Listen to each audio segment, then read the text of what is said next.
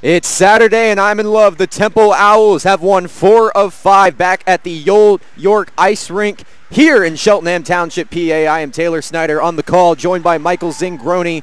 Hockey is underway, full force. Cornell has the puck. Mike, who are your starting five tonight for the Owls? Who to look out for? Who to look out for? I'm going Charles Giazza right away. He had that game winner against Navy yesterday in overtime, so I'm excited to see his jump. He might be a little extra motivated, a little extra confidence after that overtime winner. So especially with him shifting to defense, I'm looking forward to jumping to the play as he's been playing forward the whole year, so he might be a little aggressive. Sean McDowell, number 38 on the ice for the Owls. Charles Giazza starting. Andrew Kaiser out there as well. Brendan Ondick. Who else? The usuals. An unusual suspect in net tonight for the Owls. Matt Shelley, number 30, in between the pipes. Out of conference game for the Owls. And they will control early on. Chasing the puck is McDowell knocked down and now Cornell behind their own cage will handle. Looks to push it into the neutral zone. They will. Moving up the right wing. Tries to put a move on, and it was Max Hucker there on the call. Shelley with a nice save off the blocker. Garrett Elmer there to clean up the act. And now Cornell looking to push it back. Temple says otherwise, and Max Hucker will move up through the neutral zone. Number 77 on the ice, Sean Fowler, was involved last week when this team took on Towson. 1-0 victory in overtime. Brendan Ondick with the game winner. Moving the puck now is Cornell looking to forecheck, keep it in their zone. Garrett Elmer was there to pop it out. And now back into the big red zone and into the neutral zone once again. Almost two minutes surpassed thus far in this game. One shot for the away team, zero for the Cherry and White. Yeah, I was, I was really enticed to see how these first few minutes will go. And it's kind of almost as expected. I didn't expect Temple to maybe come out with the biggest boost of energy because I'm sure they used a lot of it last night in a big game against Navy. So it's a bit back and forth, kind of the teams feeling each other out. But we're ready to see which team's going to get their legs under them first. Garrett Elmer at the dot for Temple. Loses the draw. Cornell controls. Sean Fowler still on the ice. Jason Ferguson, crowd favorite, is out there. And Shelley with a nice save to the breadbasket. Good save. Nice, easy save. You want to get him. You want to get your goalie into the game as soon as possible, but you don't want to let him get peppered with, say, like 10 shots in the first five minutes. But easy breadbasket save. Let's get him into this game. Big thing I'm looking for in this game, Mike, is how does Shelley respond to the traffic in front of the net? The Owls have to do a good job of making him see that puck. And now Cornell looking to handle. Jack Pierce is out there to dump it out. And on the chase is Austin Maurer. Maurer now back to Ian Bowles. Bowles to Tom Zimbricki. Zimbricki tried to find Jack Pierce, could not do that, so Zimbricki will go back behind the cage. Took a shot after the play. Cornell tries to send it to the front on the redirect, and the referee blows the whistle. Yeah, I like that point on see how Shelley will handle the the pressure in front of the net, the bodies in front of the net. Because while Ben Auerbach has been playing very well in these last few games for Temple, the defense in front of him has been just as spectacular. While, granted, Navy got near 50 shots yesterday, it didn't seem like they had the insanely dangerous high-scoring opportunities. So I'm, I'm kind of compelled to see how the defense will play in front of Shelley. Trying to keep that shot count low, very important for mm-hmm. a guy like Shelley who has not seen as much burn as Auerbach. But let's not forget there was a four-game stretch about two months ago where Shelley saw significant time. So this is a good opportunity for him to get some good burn in there, Mike, with Auerbach on the bench. Yeah, it's, it's good that time he got in earlier this season, so it's not like he's coming in now sort of you don't know what you have. You know, it's only maybe, you know, first few games, but he's played a good amount, so he's got some experience under his belt. Ian Bowles now on the chase, looking to get it out. Cornell playing aggressive hockey right now. A send to the front, could not reach, and into the glove of Shelley. Got to get the puck out of the defensive zone. You know, sooner or later, it's it's going to hurt you. The shots are already four nothing, not in your favor if you're Temple. So, got got to get out, got to get moving. Just go north to south, get the puck out. Speaking of lineup changes tonight, number five Charles Giazza on defense for the Owls, not at his usual position. Off the blocker of Shelley, almost made it to the back. And now through the neutral zone is Brendan Ondick, who could not control it. So Cornell will bring it back to this side of town. Cornell, another shot to the front, and a glove save by Matt Shelley. Cornell seven shots already. So that, that's a high total, but but Shelley's looking good so far. So it's it's not too worrisome as of yet.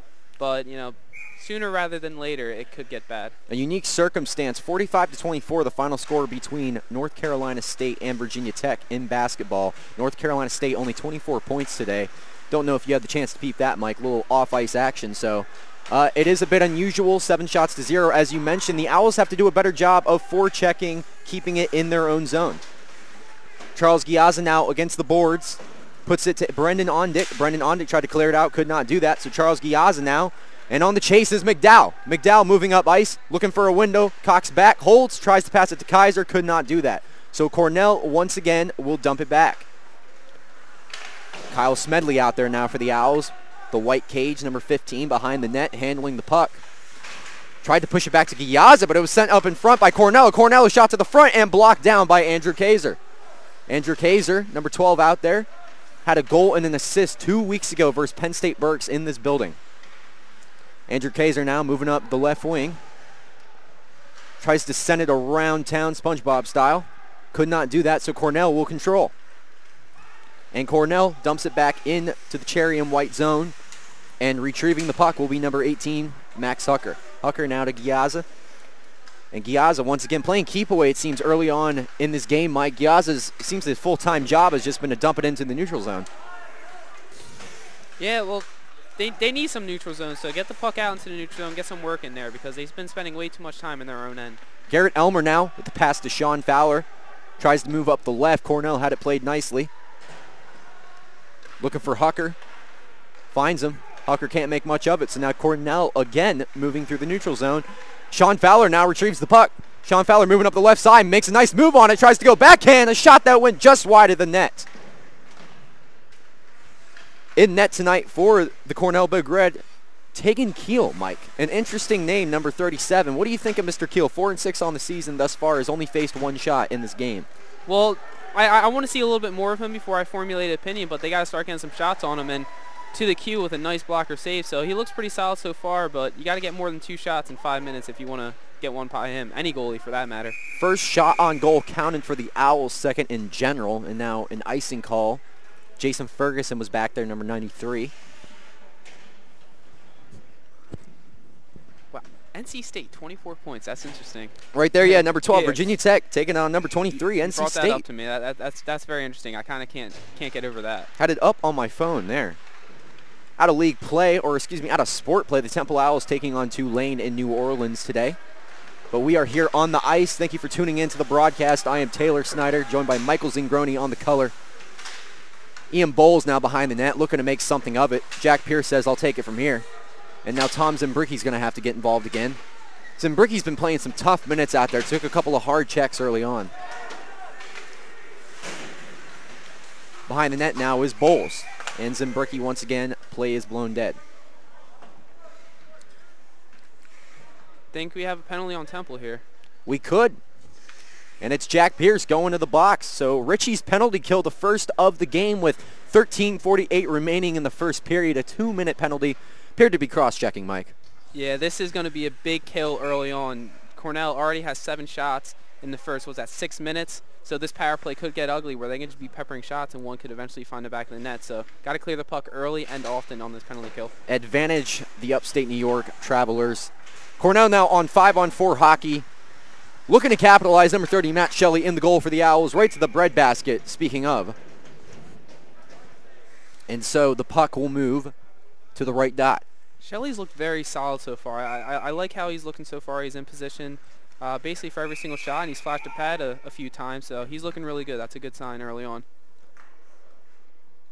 I think Andrew Kaiser got an early jump, so now Charles Giazza will take it from here. Giazza now trying to win the faceoff. Cornell had it. Sent back to the right wing, back to the left, to the breadbasket of Matt Shelley. Another nice save by number 30. 143 remaining on the power play. That put Jack Pierce in the box. Cross-checking two minutes. So that's about nine Cornell shots so far, and about four of them going into the breadbasket of Shelley. That's a sign of good positioning as a goaltender. Cornell trying to keep it in their zone. It was fumbled by number 8, Ryan McDonald. And now moving up the left wing is number 19, Dongyun Shin. Shin tried to send it back to McDonald. McDonald couldn't handle, so now it's Brendan Ondick moving up the left wing, short-handed. Tries to center it, keeps it himself. The Owl send it to the front, and it went just wide right of the net. Cornell now controlling the puck once again, 10 shots to 2, favoring the Big Red. Three shots in total for Temple. Only two have reached the net. Charles Giazza moving up the right wing. Tried to lay the blow down. Was Ryan McDonald, number eight for the Cornell Big Red, but he'll skate back to the bench. Fresh legs on for the upstate New York Travelers. And now moving up the right wing, Cornell in transition through the neutral zone. Looking to center the puck. The Owls playing it nicely. Send it back to the left wing, to the point position, and back. Tried to center it up, and Charles Giazza with a nice defensive play, number five. To the point position, a shot to the glove of Shelley. Another save. Two saves back to back, and the Owls will clear out with 26 remaining on the power play.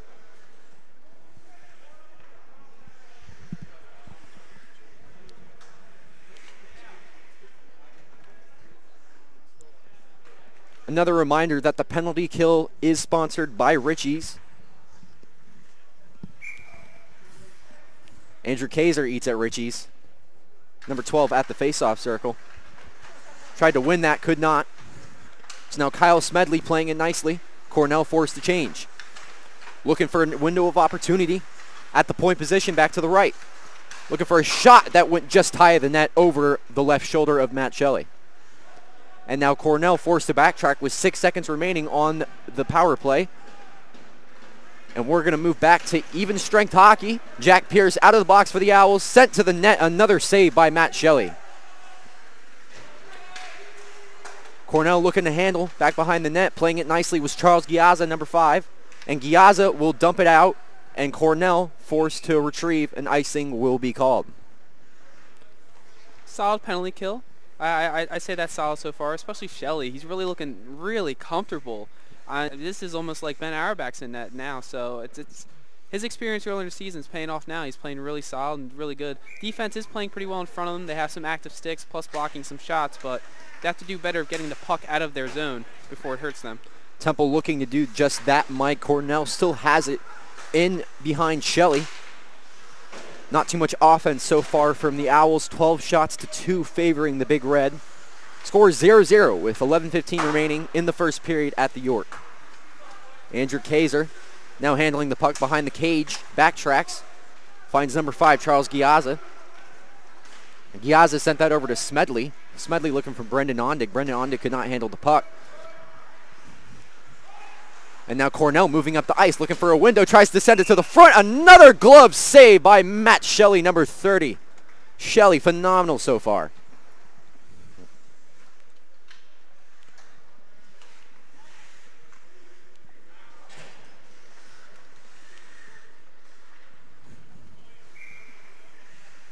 And now at the faceoff circle for the Owls, number 61, Thomas Pinella. Max Hucker out there, knocked that one down. Jason Ferguson, and another stoppage of play.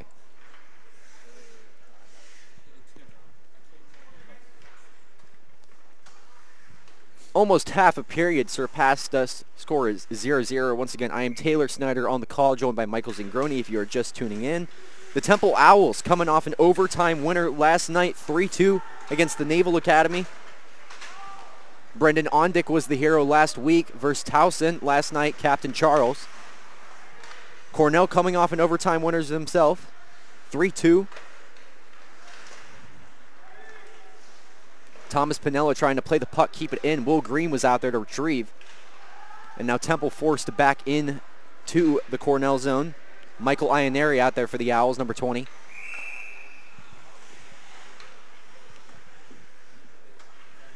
Another stoppage of play called. Fresh legs will come on the ice for the Owls and for the Big Red.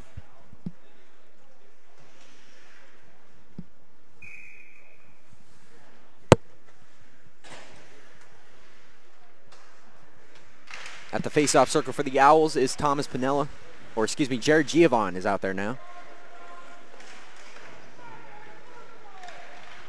And now handling behind the net is Max Hucker. Tried to do a little dangle to the front, a wraparound of some sorts, but Keel, t- or t- Tegan Keel, excuse me, got to get used to that name. Tegan Keel, number 37, was waiting there for that puck, Mike.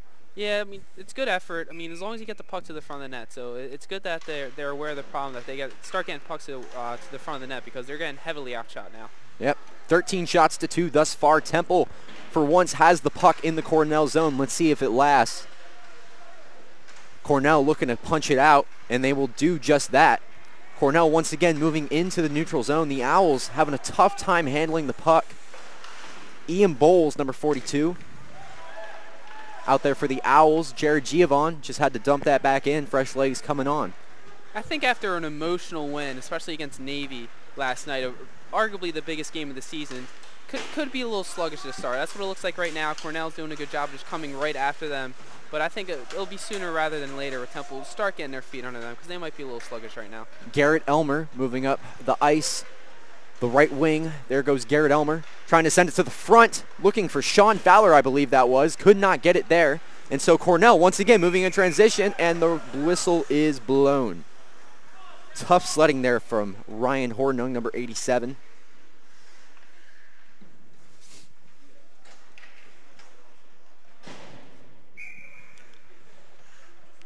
At the face-off circle, number 84, Garrett Elmer. Cornell once again with the puck in the Temple zone. Moving up behind the cage was number 91, Alex Ewald. Ewald sent us to the point position. A shot to the front. Another save by Matt Shelley, having himself a good first period. You talk about how he could handle bodies in front of the net. Had two Cornell players within a couple feet of him inside the crease saw it nice and cleanly, right into the breadbasket. We got a face off to his right. So, so far, so good for Matt Shelley. Andrew Kaiser out there again for the Owls handling face-off duties. Brendan Ondick playing out there with his buddy Charles, number five. Charles behind the cage now. Dumps it back to Smedley. Smedley trying to find McDowell. Could not do that.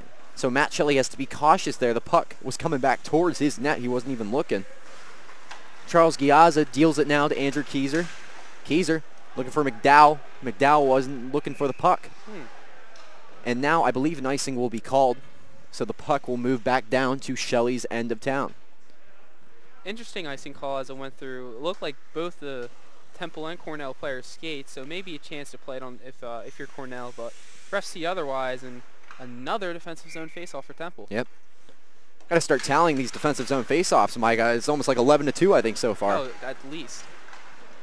McDowell moving up the ice.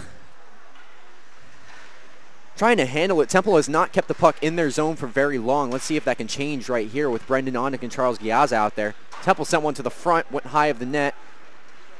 Tegan Keel, no problem. And now Charles Giaz backpedaling. Almost a two-on-three develop. In front of the net was Smedley with another nice defensive play. He's been sharp thus far. I like this defensive pair, Yaz and Smedley. They've been playing. They've been playing pretty solid so far. Pretty solid. Maybe could have limit the shot opportunity just a little bit and get some more offense developed. But other than that, I, I like how they're looking so far. Cornell handling it behind their own cage, moving up the ice. Number 24, Chris Williams out there. I want to get your take, Mike, a little, a little separate from the actual game. What's your take on black hockey helmets versus red hockey helmets for a red uniform? Um, it's interesting. I, if you're going red on red, you might as well go red on red on red on red. You know, keep the red going. It's interesting. You got a white and a black bucket out there, but I, I think it looks better with the red. A little uh, Winter Classic Red Wings look. 100%. Yeah, that, that was definitely the vibe I was getting from it. Matt mm -hmm. Shelley in his usual red face mask. Mm -hmm. You've trademarked Ponyboy Ben Auerbach, who uh, his white face mask stayed on the bench tonight, number 30. Excuse me, number 30 would be Matt Shelley. I guess Ben would be number 31. 31. Yep. Yep. Pony Boy Ben Auerbach. I don't know. Matt Shelley keeps playing up. He might he, he might uh, get himself a nice little nickname too. The Owls with another chance, trying to send it to the front on the follow-up was Chris Ianari. Brendan Ondick had one sent to the front that went off the blocker. And now Ianari moving up the ice, number 20 just unfortunate. Ianari, if he was a left-handed shot, he might have had that angle because Keel was off his off his uh, off his position. But unfortunately, right-handed shot didn't have enough time to get to the backhand and lift it up. So had to get a shot off, but could only get to the side of the net with the angle. A correction on the broadcast: Michael Ianari, not Chris. Excuse me, number 20. Number 93, Jason Ferguson, handling the puck. It was blown dead before he could even get there. So now a face-off will move all the way in to Tegan Keel's zone. Number eight, Ryan McDonald out there right now for the Cornell Big Red. Mike, what have you seen out of Cornell's offense thus far? they keep moving. They're, they're, they're very pressure oriented. It seems so far that they keep attacking a puck. Wherever the puck goes, it always seems like there's at least one Cornell pl- uh, player going towards the direction of that puck. Jared Giovon out there, number 41, passed it back to Maurer. He was way off sides. No dispute there. So another stoppage of play, 14 to 5. Temple was able to get two shots in the last time they were on this end of the ice. What is, is this like the 40th face-off of this game so far? It could be. Well, well around 40. I, I think there's a couple of things we need to start tallying. That's that's face-offs and Shelley zone, hmm and what was the other tally? Just just face-offs in total. Face-offs in total and face-offs in Shelley zone. Shelley punched that one away. A shot sent to the front of the net. Tom Zimbricki, number nine, looking to I think Play the other, along the I think the other thing we wanted to tally was uh, breadbasket saves by Shelley. Yes, breadbasket saves important for the economy. and now Cornell backed up in their own zone. A rarity tonight. Temple actually playing some pressure.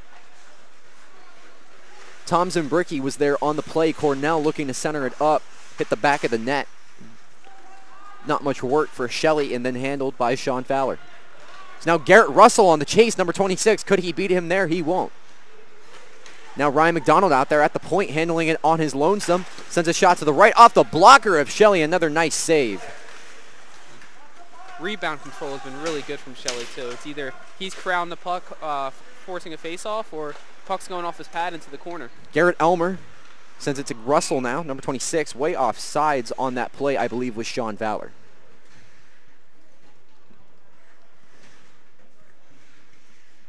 I think it's important to note that we have two Garretts on this team, Garrett Russell and Garrett Elmer, 26-84 in their own respects. The Garrett's out there. The Garretts, Is there a chance that Garrett can get on the score sheet tonight? ooh. Garrett, I Garrett Russell scored the I- second goal yesterday. I believe so. Uh, I'm not going to say because I just love everyone so much. I'm not going to say which one. I just hope both Garretts have fun. Yeah, at the end of the day, that's really all it's about. Mhm. Charles Giazza with a shot that was blocked down before it could even reach there. Temple doing a good job of keeping it in. Kyle Smedley, number 15, sent it to round to Brendan Ondick. Temple has their killers out there on a one-time shot that was sent to the front. Follow-up chance, rebound. The Owls could not punch it in. Wow. Tegan Keel, number 37. How did he save that? Well, it looks like he got a stick out there, just just hit the puck before it can be slammed home, and that sort of caused a scramble from there, and the puck found its way behind the net. Another shot front to the set. Scores! Put it down! Write me up! Sign me up! 1 nothing Temple! 4.44 to go in the first period. Well, Keel just made a great save, but he's unable to do it twice in a few seconds as as McDowell is, hits the puck hard, gets it right through the looks like the five hole of Teal. The, the puck was in the slot, and it looks like Temple stopped playing around the offensive zone and just getting pucks to the net, and McDowell does that with authority and slams it home. 1 nothing lead for the Owls. 4.40 remaining. Cornell has got the better of quality scoring chances in this game. Temple got one, and they took advantage of it. The Owls out in front 1-0. And now Garrett Elmer moving up the left wing, trying to center it. He was pushed up against the boards. The York is alive. 4.22 to go. While Shelley won't get a point for that goal, he, he sure deserves one with his performance in the first 15 or so minutes of this first period. Unable to see who got the tally. I believe it was Charles Giazza. It was too close to call. Uh, no, Mc, uh, it was McDowell. McDowell got the yeah. tally? Okay. So no, I believe Giazza got an assist on it. Okay. Cornell now handling it behind the cage. Have had the better opportunities in this game. Seems like just moments ago they were going to jump out to a one, maybe two nothing lead. Temple got one opportunity and took advantage of it. It's one nothing Owls.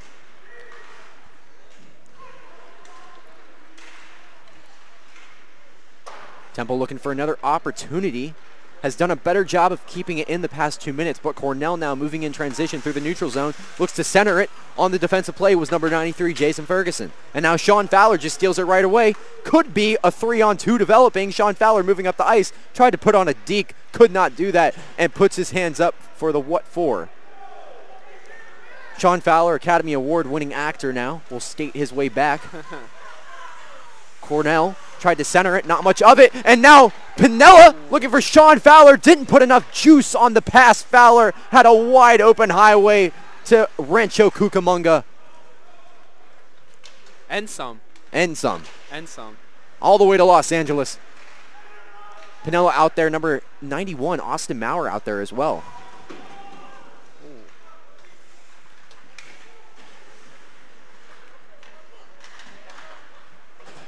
Cornell haven't done a good job of handling it the past minute. A rarity for the Big Red in this game, who frankly the first 10 minutes, Mike, seemed to out stick handle the Owls. Yeah, they, they outshot them by far. They definitely outchanced them, and they definitely had a lot more time on attack than Temple. But the last few minutes, this game started to turn into a ping pong match in a sense.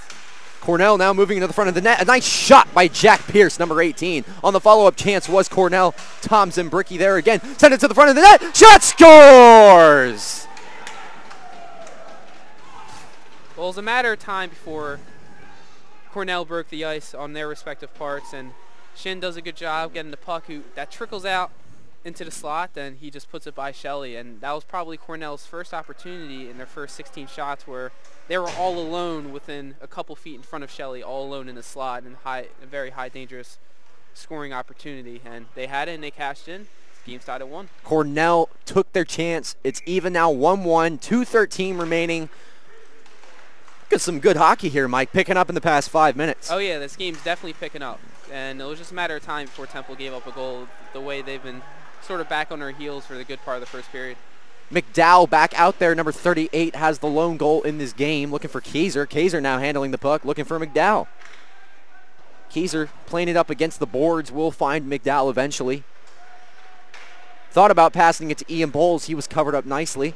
And now Ian Bowles will handle a shot that was sent to the front on the redirect. Almost found its way. Cornell looking to dump it out. Temple looking to keep it in. Tom Zimbricki is there, number nine. Andrew Kaiser. And the puck pops out into the neutral zone, so Temple is forced to reset. Kaiser almost had a sick deflection goal, just trickled through the goal mouth. Temple able to handle it back on the ice is Ondick with a nice move. Ian Bowles now playing up against the board. Oh, sent us out to the front. That's two shots from Ian Bowles tonight that have almost trickled their way. Matt Shelley makes a play date out of it. Easy routine save. Sean Fowler now, number 77 moving up the ice into the neutral zone, was stopped in his tracks. And now Cornell, a two-on-two, and an offsides is called. Whether they have a great angle or not, every time Temple's in the offensive zone and they just find a way to get that little rubber circle towards Keel and towards the front of the goal mouth, it almost seems like they have a very high dangerous opportunity to score. While their 10 shots might not be all amazing shots from the slot, every time they get the puck in front of the net, they always have a real prime opportunity. Andrew Kaiser, number 12, at the dot for Temple. We have 57.3 seconds remaining in the period. The score is even at 1-1. Kaiser now, backed up, will take his time. Looking for Smedley. Smedley tried to send it to the left for Garrett Russell. Garrett Russell could not handle, so now Cornell once again on transition. Playing it nicely again was Smedley. And now Kyle Smedley moving up the left wing. It could be a three-on-one developing. Garrett Elmer with a nice move. Back to Smedley. A shot right to the glove of Tegan Keel. Yeah, they had a three-on-one. Cornell did a good job of getting back, sort of negating the three-on-one, making it sort of a three-on-two, three-on-two and a half in a sense. And Temple was able to get a shot off. Not the most dangerous shot on a potential three-on-one, but at least a puck to the net. A face-off in the Cornell zone handled by Andrew Kaiser. A shot sent to the front by Charles Giazza. A deflection or two might have put that one in the back of the net. Yeah, Giazza, he played forward for a majority of the year. Now moving back to defense. A couple, I think the most standout thing on him playing defense this game is his ability to get the puck through bodies and able to get have sort of a seeing eye shot in a sense. That's the second time where a puck went on net from a, a point shot from Giazza. Giazza now looking for it. Never reached him. And now Cornell moving up in the zone. Up the right wing is Cornell. A shot to the breadbasket of Shelley and Ryan Hornung. Little hip check at the end. No retaliation from either team. 10.5 seconds remaining in the first period. 17 to 12 Cornell with the shot advantage. 1 to 1 the score is even. And now the officials will have to put Matt Shelley's net back where it belongs. Yeah, Horn uh, Hornug, the Cornell's leader in penalty minutes with 35, was running like a bad man towards the net. he wanted he wanted that penalty minute. Yeah. Five seconds remaining in the first period. Three seconds. Two, one. A period of hockey, under our belt. One goal scored for the Temple Owls, one goal scored for the Cornell Big Red. It is even one apiece at the end of the first period.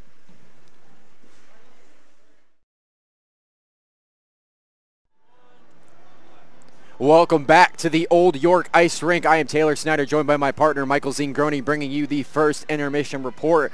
One to one after one period of play, Mike, between the Cornell Big Red and the Temple Owls. But number 30 has been the most impressive so far for you. Oh, by by far, he's looking like the most ice. Probably looking like the best player on the ice so far in that first period. Matt Shelley making a lot of breadbasket saves. Cornell has 17 shots. They had, I think it was like 12 shots in the first, roughly about 10 or 11 minutes.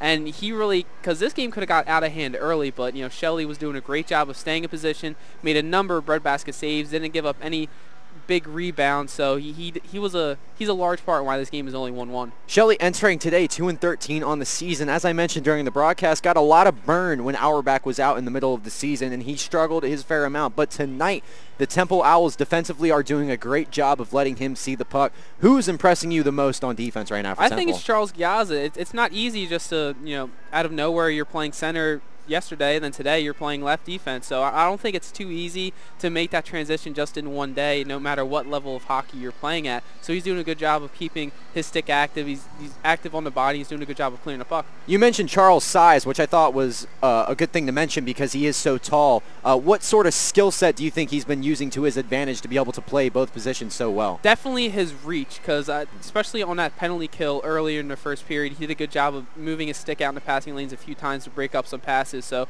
I think he's doing a good job of using his length, using his reach to sort of not make it easy for Cornell to get all get it through all these passing lanes and just to dribble the puck right into the Cornell. Right in the Conor, I'm sorry to interrupt, Mike. Cornell controlled most of that first period. It seemed like, but at the end there, the Owls took the one nothing lead. What did you see on that goal from Temple? They did towards the end of the period, they did a good job of just getting the puck just towards the net, not even necessarily on net, just uh, towards in the middle of the net. And before that, I believe it was Andrew Kaiser who had a great chance on Keel, but Keel, you know, stood up with his stick, made a couple of great saves. Then Sean McDowell just saw a loose puck in the slot and just rammed it home. So Temple was doing a good job, especially towards later in the period, just being in the slot, just being there. Then eventually the puck will go in the net. Line changes tonight from head coach Mark Spees. Who has stood out that shouldn't be standing out or usually doesn't stand out tonight? Who do you think is really standing out tonight? I think it's the goal scorer. I'm just going to go with the easy answer, go with the goal scorer, McDowell. He's been pretty active. I feel like I, I keep hearing his name come out of your mouth, which means he's doing a lot of things to be in the game. And he's moving fast. He's moving with the puck. He's moving without the puck. Then he got rewarded with the goal being in the right place at the right time. So I think it's Sean McDowell. He's kind of impressing me early on. Out of conference game for the Owls 4 and 10 in conference play. Set up in a nice position, but you still want to get as many wins as possible, not only for your confidence, but for the burn's sake, for guys to get out there, get time, and stay active on the ice. What do the Owls need to do to stay in this game heading into the second period evened out? I think it started formulating over the first period. They're getting a little more into the game after an emotional overtime win uh, last night against Navy. Could come out on your heels just a little bit, could come out just a little slow, but you know, as the first period started going on, they're going faster and faster. So I expect to see what we saw in the last few minutes from Temple. I expect to see that as we start the second period. Ryan Hornung, number 87 on Cornell, didn't hear his name a lot in that first period. What do the Owls need to do to make sure we don't hear his name in the second period? They just got to get the puck out of the defensive zone as soon as possible. I feel like, especially early in the first period, they, were trying to pass it out a little too much. But Charles Giazza, on uh, him at defense, what he was doing well, he was just chipping it out there, get letting the puck get out there, letting a line change happen, letting Temple's forecheckers go after the puck. So I think they just need to, as soon as the puck gets in, they need to get it out as soon as possible before Cornell starts peppering these shots on net. All right, well, that'll do it from the first intermission report. I am Taylor Snyder, joined by Michael Zingroni. Stay tuned, folks. We have second period hockey coming your way from New York. Don't go anywhere.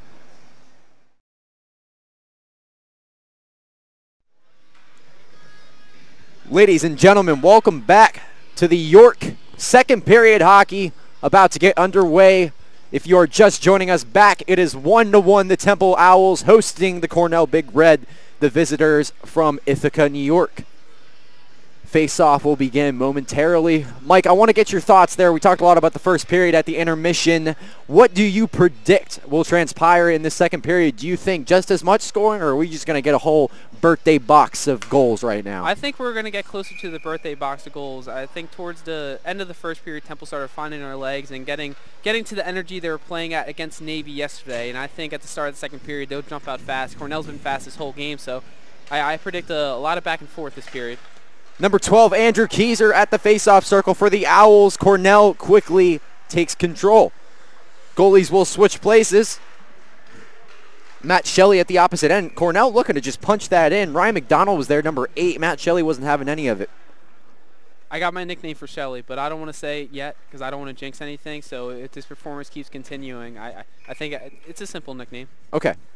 We'll, we'll keep that one in the back pocket. Yep. Tegan Keel, number 37, whose name we just absolutely adore. He is on our corner now. We're going to be getting a lot more of him. Temple looking to punch it out. Cornell once again taking control of the period early on. 30 seconds have gone by. And the whistle is blown. Number 38, McDowell, back out there for the Owls. Sean McDowell, to be exact uh, net off its moorings. Oh boy! I was, I was thinking a penalty for a second, but these nets come off their moorings pretty easily. Only one penalty call in this game, Mike. A five-on-four that went advantage. Cornell could not capitalize on it. Yeah, clean on both sides. Uh, I, I'm, I'm, I draw back to that game last week when Temple had against Towson. That was a very physical, very gritty game. A lot of chirping between both teams, but th this game seems just simple hockey. Let's just play some hockey. That's what it seems like tonight Tegan Keel cover that one up, and now the faceoff will be in the Cornell zone. I'm growing very accustomed to this view, Taylor. We're really on top of the action, especially down here. I, I love this view now. It, it, definitely is something, and the view for people at home, uh, we try to give them the best. Uh, whatever they get, best we pretty we much get. Yeah, best yep. we can. So nothing better than some Saturday afternoon hockey. 459. Nothing better than that. Nothing better than Saturday afternoon hockey. 4.59 here on the clock outside. 8.54 on the clock inside. Temple now just looking to get it out of their own zone. Have not had a shot yet. At least one decent one that went towards Tegan Keel, number 37. One shot for the Owls this entire period, an easy cover-up. Sean Fowler now handles it. Looks to move up through the neutral zone. Tried to find Garrett Russell, number 26. Russell was covered up nicely. Cornell moving back into their zone. And it's a nice old-fashioned game of I'm going to try to score. Oh, no, wait, I can't. Hmm. Cornell backpedaling into the neutral zone. Handling it now is Sean Fowler moving up the left wing. Garrett Russell now will handle. Mm. Garrett Russell, he's going to go to the box. Puts Cornell player down. That's going to be a penalty business cards exchanged after. Garrett Russell, a nice little shove, and we do have a delayed penalty call coming. And Russell will get his final word in before he has to go to the bad boy box. Yeah, John Bush came uh, came up from behind on Russell, gave him a little shot in the back, knocked Russell down while Russell's on the ground, got a stick up in the hands of Bush, and that's going to be a penalty. Yep. So now a power play advantage for the Cornell Big Red. Mike, converting on 12.9% of their power plays. What do you have to say about the Temple kill?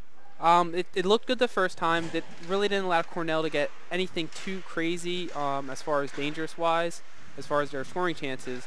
So I, I, expect to see the same. The penalty kill's been looking really good the last few days, and especially when Shelley's playing the way he is today, he, not too many worries. A shot that was sent to the front of Shelley off the blocker. Temple on the kill. And now moving with the puck is Brendan Ondick up the left side. He's on his lonesome, puts on a nice move. Ondick to the front. A shot that almost got through Tegan Keel. Cornell will slow things down for a minute. Temple had an opportunity.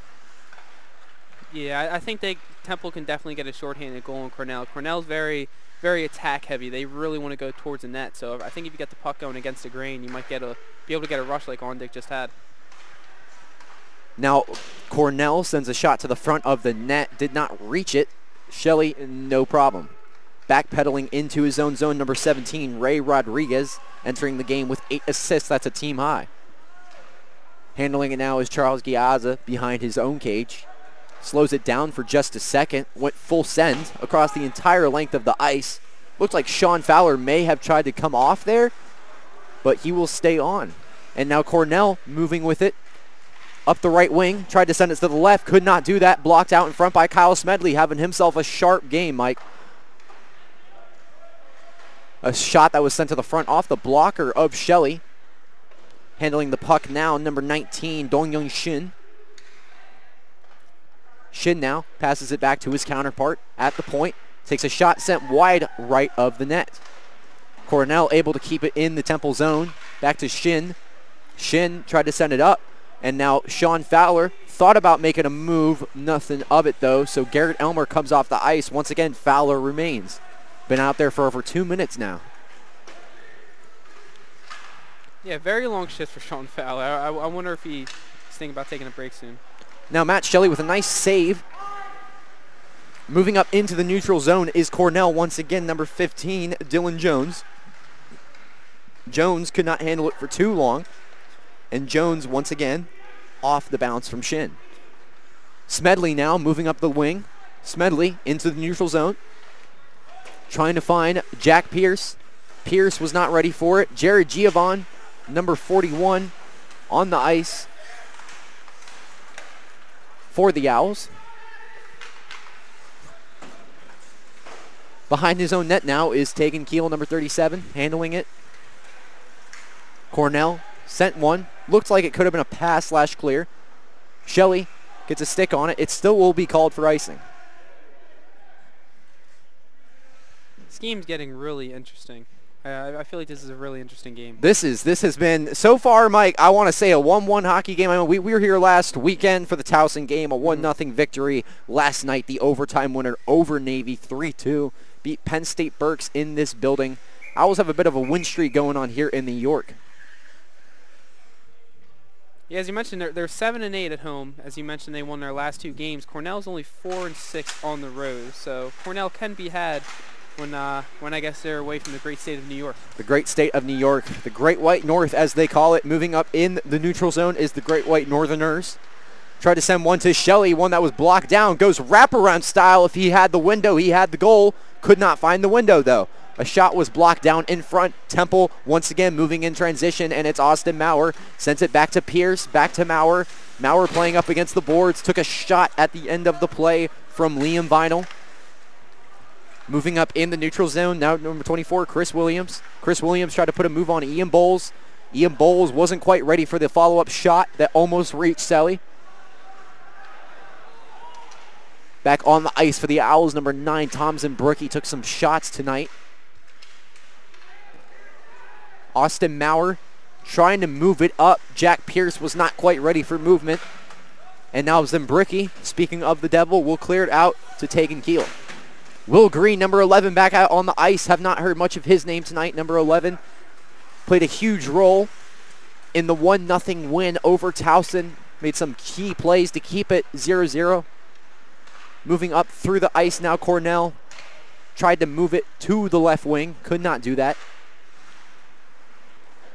And now backpedaling is Zimbricki to crowd favorite Jason Ferguson. And up through the neutral zone. I feel like Temple's at their best, especially in the neutral zone when they're just skating with the puck. It looks like Cornell, they're best in the neutral zone when they're passing around, but when Temple's just skating through the neutral zone, that's when they sort of get their best chances. A shot that was sent to the front from Leon Vinyl, a glove save for Matt Shelley. 13 saves, or excuse me, 22 saves. That'd be 22 shots for the road team, 22 saves for Matt Shelley, allowed one. Only 13 shots faced for Tegan Keel. Mike, he has looked sharp, but what is the key to start to really try to rile up this Cornell team defensively? I think you saw sort of saw it at the end of the first period. Just sort of just get pucks towards the net. It doesn't necessarily have to be a shot like we just saw from Andrew Kaiser. Just necessarily just has to get the puck in the slot and just just see what happens. I, I feel like, especially in the first period, that, that's when they got their goal, and that's what they need to start getting back to because they only have two shots this period. Trying to handle the puck was Alex Ewald, number 91 for Cornell. On the defensive play was Jack Pierce, number 18, and now McDowell with the lone goal will chase in the corner. And falling to the ice was number 17, Ray Rodriguez. And now Temple trying to get another opportunity. Sean McDowell wanted seconds. It, see, th that wasn't even a shot. That was just a puck that went across the goal mouth, just barely touched the crease, and you have Tegan Keel just sort of flopping all over the place. And McDowell was just uh, there just a split second earlier. He, him or Brandon Ondick had a chance at a goal. So just just pucks in the vicinity to the net can do a lot of damage. Ewald versus Elmer, two E's at the face-off circle. Sean Fowler handling, sent it to the point position for Kyle Smedley. Tried to send one to the front. On the rebound was Bowles almost had the window. Keeping it in was Smedley. That was sent back to the front. Off the top iron, a deflection. Almost found its way to La La Land. And now Sean Fowler, another delayed penalty call. He's going to be called for hooking there, Mike. That was an easy call. Well, yeah, that's got a little easy with the stick. Got the stick in there, but not much you can do when you're trailing the play. It was an unfortunate, uh, just an unfortunate bounce to get behind a defender, but rewind a couple seconds. Garrett Russell almost had an amazing deflection opportunity. I believe that was Smedley who sent. It wasn't wasn't the craziest shot. It was it was a nice little shot in. It had some air in it, and Garrett Russell with a beautiful deflection just gets the crossbar. Had had the goalie beat with a bunch of bodies in front. Number 77, Sean Fowler, going to the box for tripping. The ref disputed that it was tripping rather than hooking. Must have not gotten enough stick on him for him to call it hooking, Mike. Yeah, it, it looked more so of a of a tap down rather than a pull down. Now falling to the ice is Andrew Kaiser. Cornell moving up in the zone. Try to get a three on two on the back pedal, though, was Brendan Ondick in position. And now Cornell with another shot to the front of this, the cage of Shelley, excuse me. Shelley had to go horizontal there. Cornell backpedaling now into their own zone. Tegan Keel handles. And Ryan Hornung, number 87, moves up. Cornell in the neutral zone. Looking at pass it to the left. Can't find anything of it. He will backpedal, puts the brakes on, to the back of the cage now, handling. On the defensive play was number 15, Kyle Smedley. Smedley now pinned up in his own corner. Bailing him out was Andrew Kaiser, who falls to the ice. Andrew Kaiser, he's averaging about two falls per shift right now for the Temple Owls. Looked like he got hooked down a little bit by Ross Allen on Cornell, but apparently the rest have a better angle than me. Chris Williams now handling it behind the net for Cornell. On the chase back was Shin. And now, skating up the ice is Brendan Ondick. Will he beat him there? He won't. And Hornung was ready. Puts on the brakes. Too much brakes. Brendan Ondick almost had an opportunity at a wraparound goal. Brendan Ondick now handling the puck. Tried to have another opportunity. Did not reach. And Cornell, quick heart attack, will finally handle. Ondick put a hit on Hornung at the end of the play. Cornell now moving up the right wing. Skates around. Looks to send it to the top. A deflection that went off Kyle Smedley. Did not make it to uh, Shelley. A one-time shot that went high of the net. Ryan McDonald handling at the point. Sends it to the left wing. And back to the point position. A shot that was sent front to the net, wide left. On the follow-up opportunity, another save by Matt Shelley. One to one, the score remains. Interesting they flew the plate that. I don't think anybody had that puck covered. But I, I think it, I think it's continuously the net just keeps falling off his moorings. I saw when the puck was down here, uh, when Temple was attacking, Shelley was having a conversation with the ref to try to figure out what they can do about the net because it doesn't look like it's too sturdy right now. No. 1 to 1, 10:23 remaining in the first period. 22 shots to 16. Cornell with the advantage. Temple will handle it in the face-off circle. And now Temple will handle behind their own cage. Just looking to not make too many mistakes right now. The Owls have been limited in that smart hockey thus far from both teams. And now moving up the right wing is Cornell. Centering pass. It goes to the top left corner. A shot and a score. The big red jump out in front with 10.04 to go. Number 91, Alex Ewald. Well, Cornell's, he's tied for a leading scorer with, with Shin, but he is now the leading scorer. He has 11 goals, 12 assists for 23 total points. Just it was a matter of time before Cornell really got that big break, and they just got him behind the Temple defense, and you know Ewald is able to put it above the glove hand of Matt Shelley. Alex Ewald, number 91, getting the goal, and the big red Mike in the second period have now jumped out to their first lead of the game. It was around this time in the first period where we started seeing Temple have their legs, uh, um, have start finding their legs and start really attacking in their own respective way. So it was about this time in the first period. So let, us see if they can do it now. A shot that was sent to the front and almost went through the breadbasket of Matt Shelley. He covered up. Two to one remains. Shelley doing a good job of keeping the Owls close in this game. Yeah, I feel like at this point Temple might start be playing fire a little bit. They need to start finding their game. It's not too long Shelley could really continuously bail them out. At the face-off dot for the Cornell Big Red is James Check which is just a phenomenal name against Will Green. Will Green on the defensive play, a shot that was sent, a routine save for Shelley into the bread basket. Speaking of great names, out at left defense for uh, for Cornell, number 25, Jack Bookbinder. Jack Bookbinder, number 25. Have not uh, seen too much of him in this game. As much as we hoped, I guess, with the name. Now moving up the left wing is Cornell. Wrist shot right to the glove of Matt Shelley. Another routine save. 9.16 to go in the second period. If you are just joining in, it was the Cornell Big Red led by Alex Ewald, number 91, getting the goal to send Cornell to a 2-1 lead out front of the Owls in their home barn. Owls playing nicely here in this building this year, 7 and 8 on this ice have won three straight on this ice. Looking to make it four straight tonight. Cornell, though, with the advantage now. And a pass that was sent to behind the net to Ross Allen. Ross Allen handling the puck. Looking back, number 25, stick on the ice was Jack Bookbinder. Speaking of the Devil, back out there for the Cornell Big Red. And now Temple moving up in the neutral zone. It is McDowell with the game's lone goal out there now.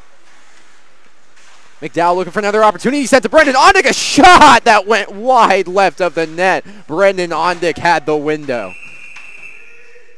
And now a whistle will be blown. Brendan Ondick knows he had a chance there, Mike. Yeah, uh, play blown dead for a hand pass, but Ondick, he had a chance. It was a great pass. I believe it was from Pearson, uh, uh, giving it to Ondick in the slot. He had that opportunity. I saw him in practice the other day. Ondick really trying that from the uh, left to right shot in the slot, but just lifted a little too high as he almost had the far corner.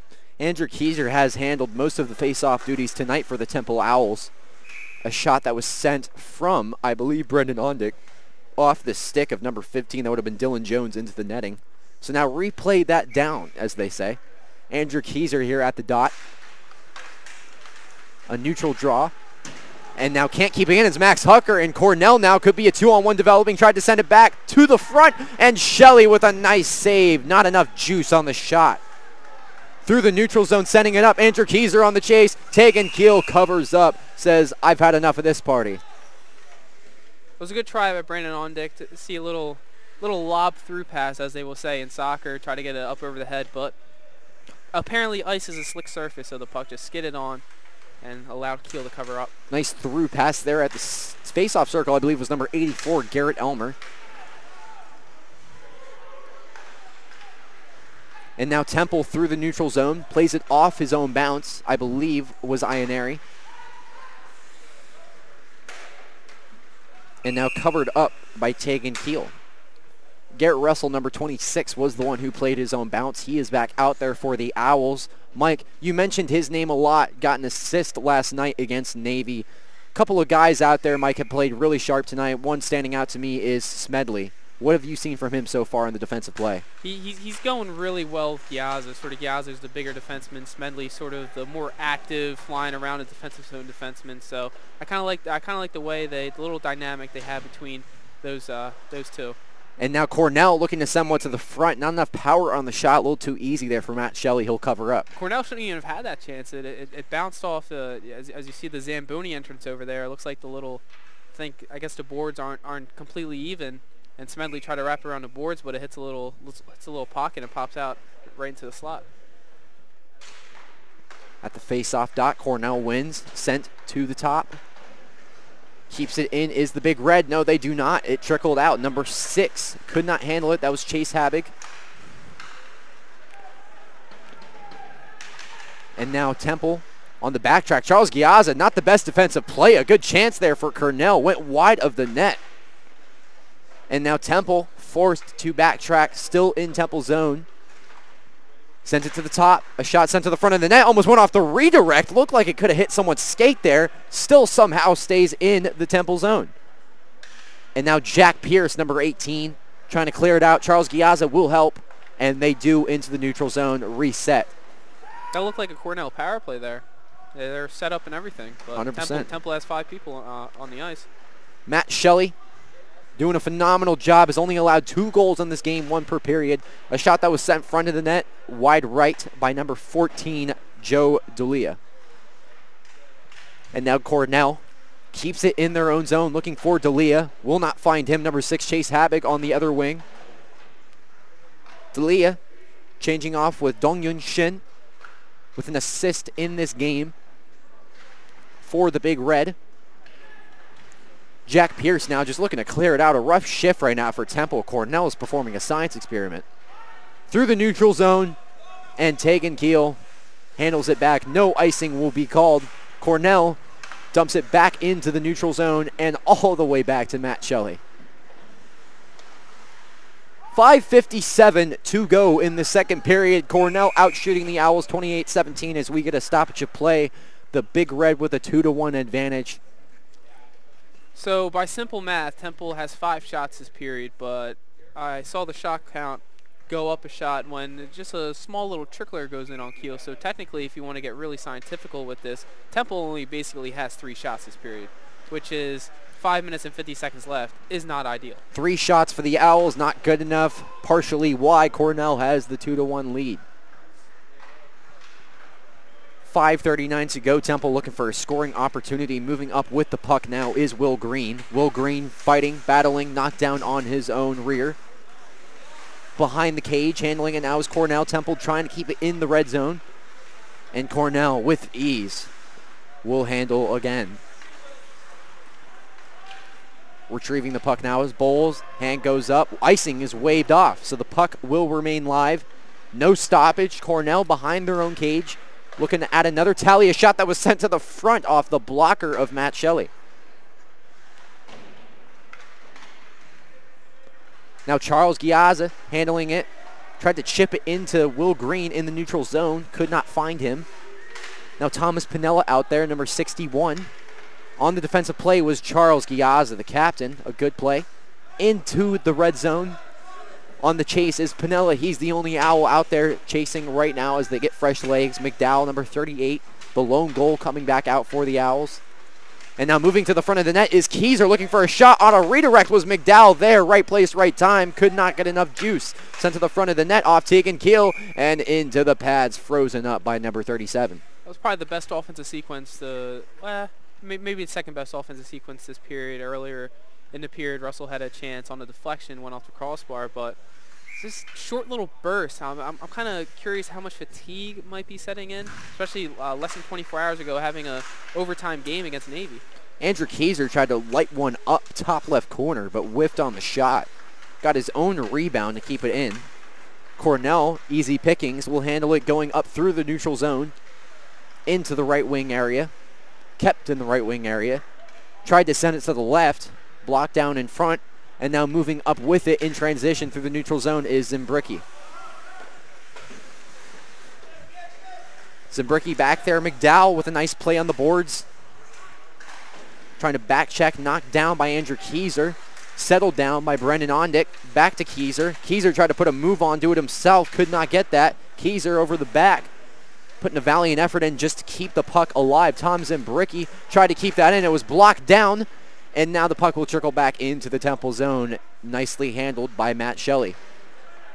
3.30 to go in the second period. Temple moving up in transition. A delayed offsides was called, I believe. And I think they will call it. Yeah, I think there was a, actually it was a, uh, Kaiser played the puck with a high stick. Oh, really? Yeah, I, I think that's what it was. And he was reluctant to play it, so was Cornell. So the rest will blow the whistle in the midst of the stalemate. 91 at the face-off dock. Ewald has the goal for Cornell. The reason they're in front right now, 2 to 1. Handled nicely by Cornell. Moving up in the zone is Chase Habig. Into the neutral zone. Played back by number 29, John Bush. And now Ewald down on the ice looking for his stick. Found it in the lost and found. Garrett Elmer tried to play it now, and Ewald moving up in transition, moves it to the left wing. Not enough juice. Matt Shelley was waiting for it. Should have had an open net, just didn't get enough of a shot. Sorry. Wide open net. If he had lifted that puck, Mike, it'd be three to one right now. 93, Jason Ferguson back out there for the Owls. Has not seen action in over five minutes. And now Sean Fowler trying to send it to the front, went wide of the net. Trying to keep it in, a valiant effort by Jason Ferguson, but the Owls will be forced to reset. Sean Fowler, number 77, playing up against the boards right now with Habig. Duking it out. Garrett Elmer is there with Ewald. And now Elmer pressed up against the boards.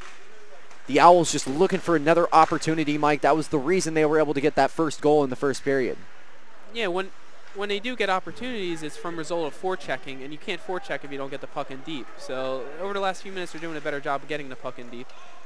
Tried to center that for Garrett Elmer. Had his eye off the puck. Fresh legs on for the Cherry and White. Resetting now on the play, number 17 on Cornell. Ray Rodriguez leading the team in assists. He has one of those tonight. And now moving up in the neutral zone on the transition. Sent up is Jack Pierce. Tried to chip it, it seemed like, to Garrett Elmer. Or that's Maurer out there now, excuse me, number 91. Playing the puck nicely was Jack Pierce. Cornell once again in transition, moving up the left wing. A nice defensive play by Maurer. And now Charles Giazza, C, stands for captain. Captain Charles not on the board tonight for the Owls, Mike. I think part of it has to do with his move to defense. He's not he's, he's not up there attacking as much, but he still has some. Shot scores to the front of the net, right on time. Charles Giazza.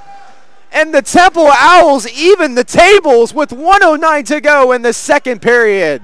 It's all about timing, isn't it? Timing is everything, and it was right there for number five, Charles Giazza, listening into the broadcast through his helmet. And the Temple Owls, two goals for them, two goals against. We have a tie game with 109 remaining in the second. Mike, we talked about opportunities. What about that opportunity? Well, in the first period, Giazza did a good job of getting pucks through bodies and just getting those seeing eye shots to the net, and that was more. That was just another seeing eye shot too. Another deflection off the redirect was McDowell. Down on the ground is Tegan Keel. A shot that was sent to the front of the net, and the Owls causing some madness here. There's another Giazza seeing eye shot from the point. Those, those seem to be deadly so far. Cornell finally able to get it back in the Temple zone. The puck has remained in that zone, but right there, the Temple Owls causing some traffic on I-95 South. We have a tie game. Sent to the front by Cornell. Blocked down in front. Andrew Kaiser now playing the puck up against the boards. 22 seconds remaining in the first period. And now through the neutral zone is Andrew Kaiser. Tried to push it back to Brendan Ondick. He was covered up. 12 seconds remain. Ryan Hornung out there for Cornell, number 87, playing up against the boards. Two seconds remain, one, and two periods of hockey have gone away. One more period remains. Once again, Mike, we are here tied again. Score is two to two. Cornell took the two to one lead. Temple captain Charles Giazza with the response to even it. 20 more minutes will remain in the third period, but don't you go anywhere. I will be joined by my partner Michael Zingroni for Ladies and gentlemen, boys and girls and babes, welcome back to the second period intermission report. I am Taylor Snyder here, joined by Michael Zingroni. We stand here once again, a 2-2 tie game. Cornell got that first tally. Charles Giazza right on time. Plain and simple, what did you see out of the Owls in that period? Um, the exact same thing I saw in the first period. They started off a little slow, weren't really getting a lot of lot of scoring opportunities, let alone shots on net. Then towards later in the period, they started getting more and more opportunities. They're in the offensive zone a little bit more and more. Then Penalty Charles Giazza with one of his seeing eye shots beat Keel. Mike, you were displeased with the Owls' play for about 85% of that period, and for good reason. Can you kind of explain what exactly happened there at the end for the Owls to just all of a sudden kick it into gear? I don't know. I just feels like they're feeling out the beginning of periods a little too much, and Cornell just looks like they're just going from point A to point B. We're going straight. We want to get the puck in our offensive zone. It looks like Temple, they're kind of being a little cautious with it. That's kind of their style of play, though. They're a little bit more tentative in their play, while Cornell's just going straight at them, so that can sometimes be not not a great matchup for a team that plays like Temple if Cornell's just coming straight at you. Forechecking such a crucial part of offensive hockey. The Owls did not forecheck too well that period. Whereas the first period, they forechecked nicely towards the end. Mm-hmm. Do you think the Owls need to come out here rocket fire full blown if they want to win this hockey game, or do you think this is a type of game where anyone can feel anyone out? I think I think it's a little bit of both, but Temple's two goals, they came from forechecking opportunities. They came from we're just getting the puck in the zone and just wreaking havoc, getting their forwards in there, trying to get some work, trying to get the puck in the slot area. And while uh, Giazza's goal wasn't from the slot, it was from the point, it came off as a result of forechecking. They're forechecking a couple seconds earlier. The puck gets out. They go right back in on the forecheck. So you can call some defensive uh, lapses from Cornell if you just get the puck in deep and just start going at it. It seemed like in that period, Mike, whereas verse the first period, Matt Shelley faced chances and opportunities, but the Temple Owls did a really good job of letting him see the puck. This period, however, there were a lot of bounces that could have gone each Yep. and every single which way. He stayed calm. What is Matt Shelley, or excuse me, how have you felt about Matt Shelley's play through two periods of hockey? He's playing really solid. He's looking really calm, and his positioning is something that's really standing out to me. He's having a lot of those breadbasket saves. Next time Shelley plays, we got to start the breadbasket save counter right in the beginning of the game because I feel like it's upwards of of uh, you know 15, 20 breadbasket saves right now. But he's doing a good job of staying calm, being in his crease. In the first period, Temple th- they're doing a good job of letting him see the puck, not getting too many dangerous opportunities. But in that second period, the Owls were kind of riding the fine line of what's a danger scoring opportunity and what's just a scoring opportunity. But Shelley did a good job of holding his own. Ryan Trebs is not out there tonight for the Owls, number 16. However, Brendan Ondick is number 10. We could name so many names on this roster, Mike. If the Owls are to win this hockey game tonight, who are you looking at for the game-winning goal? Well, almost what happened in the last two games against Towson and Navy. Arguably your two best players, Brandon Ondick and Charles Giazza. Brandon Ondick, he had a great chance in the slot, wide open shot, but just lifted the puck a little bit too high when he tried to go far corner. Charles Giazza, he got that goal from the point, so it's almost like I'm looking at those two, Brandon Ondick especially because he's one of the faster Owls players too, one of the longer ones too. So you guys, Gary Ricci also has a great shot. So I'm looking at him specifically, and maybe Charles Giazza if he can get another one of those seeing eye shots. But I'm really looking at Brandon Ondick to send us home on another game winner. A lot of mixed messages between both of the teams. If you're the head coach for the Temple Owls, which is Mark Spees, what are you telling your team heading into the third period? You have to start out fast. I mean, this is the third period. You're not going to have any more periods after this. I mean, if Cornell comes out quick and gets two or three goals in the beginning of the period, which they arguably could have, definitely at least in the second period, they could have jumped out, got three goals in the first five minutes, and in the first period as well. So you have to start out fast. You, you don't want to play from behind. You don't have to. You don't have to. Um, depend on another seeing eye shot or another lucky bounce to get the puck into the slot to tie this game up again. You want to come out fast and you want to make Cornell play from behind, see how they react. The Owls trying to come out fast in the third period. They have won three straight games in this barn, trying to make it four straight. That'll do it from the second period intermission report. Taylor Snyder joined by Michael Zingroni. Don't you go anywhere, boys and girls. We got one more period of tie hockey coming your way from New York in Cheltenham Township. Grab your popcorns, grab your Starburst, grab your Goobers, grab your ice cold Pepsi, whatever you got, grab it. It's 2-2 here, heading into the third period at the York. The Temple Owls hosting the Cornell Big Red. Who will walk out victorious? The Owls trying to extend their home win streak to four games, three straight one here. An overtime winner last night over the Naval Academy. So exciting, so exhilarating. I'm pumped. Let's do it. I'm pretty excited too. It's setting out to be a good third period. Kyle Smedley out there now for the Owls, number 15. Try to get a shot to the front. Just not enough sauce on that. And now handling it and covering up will be Tegan Keel. Great names from Cornell. Tegan Keel, Jack Bookbinder. Jack Bookbinder, Tegan Keel. I think Jack, James Check. I think Jack Bookbinder might be my favorite one of an away team so far this year. An interesting question I think you could ask the Cornell Big Red is where is James Check from? Yeah. I, If you, if you really. It's such a Slovakia, simple or- question, but you have to think about that a little bit. Charles Giazza now number five, sent one to the front earlier that evened up this game. Number five, right on time. he's out there playing forward right now. He's at the center position. Moving up, Charles Giazza.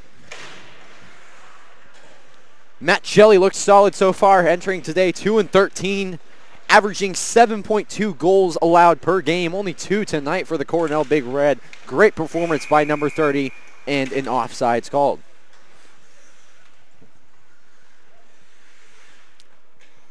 Curious to see how they do use Charles Giaz in this period. If, if co head coach Mark Spees wants to try to get him some shifts at forward, it looks like he's out there at center right now.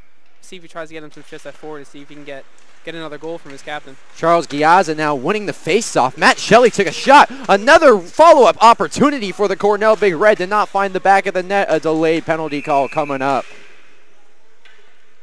And he's got his finger pointed, I, I believe, Ian Bowles. Could be wrong. Hmm.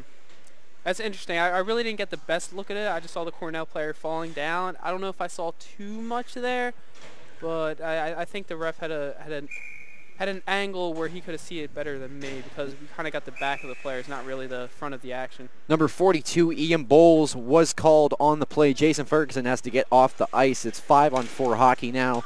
Once again, third power play of the game for the Cornell Big Red, converting this season 12.9% of their chances. 277th in the nation, ranked 17 slots behind the Temple Owls. Cornell looking for a big opportunity here with the man up. Handling it around the zone was number 19, Dong Yun Shen. And solo away from Brendan Ondick. Brendan Ondick on the breakaway. Goes backhand, front hand, shot, and a save by Tegan Keel to keep this at two apiece. Brendan Ondick, deja vu, Towson University basically the same play. He poked it away from uh, opposition on the blue uh, on the blue line. He had a breakaway. And now Andrew Kaiser moving up the wing had no one else there to support him in his end over. And so now Cornell with the man up. It looks like Temple has the man up right now with the way things are going. A shot blocked down in front from Charles Giaz number five clears it out. Owls doing a good job of killing off this penalty with 58 seconds to go. Definitely came out this period with probably their best jump of the game the first and second period, they did not start like this. They're looking a lot better to begin this period. Sean McDowell out there now for the Owls. Number 38 had the game's first goal that got this party going. Cornell, though, despite contrary or popular belief, has the man up right now. It's Ryan Hornung, number 87, a wraparound chance and a goal. The Cornell Big Red jump out in front 3 to 2 17-28 remaining and the owls pay for their dues. That was a good play by Hornung. Shelley didn't have his left pad on the ground. He had that vertical with the post which left the five hole open because he didn't have the right pad over to close the five hole and Hornung just stuffed it home into into the gaping the gaping in between the legs of matt Shelley so now they got to take this penalty off the scoreboard. It'll be back at even strength. Five legs on the ice now for the Temple Owls. The Cornell Big Red with a 3-2 lead. Temple with a nice jump early on. A breakaway opportunity from Brendan Ondick was shut down by Tegan Keel. And so now Cornell, with a little juice back in their step, will try to extend their lead here with 17.09 to go in the third period. McDonald now handling it behind the net. Sends it off to his buddy. McDonald had an open net there. Matt Shelley was not ready. Off the blocker now is Matt Shelley. And on the right wing side is Cornell. Trying to knock it down was Max Hucker. Max Hucker now will move with the puck, sends it to Jack Pierce. Jack Pierce tried to send it back to Hucker. He was not looking for it.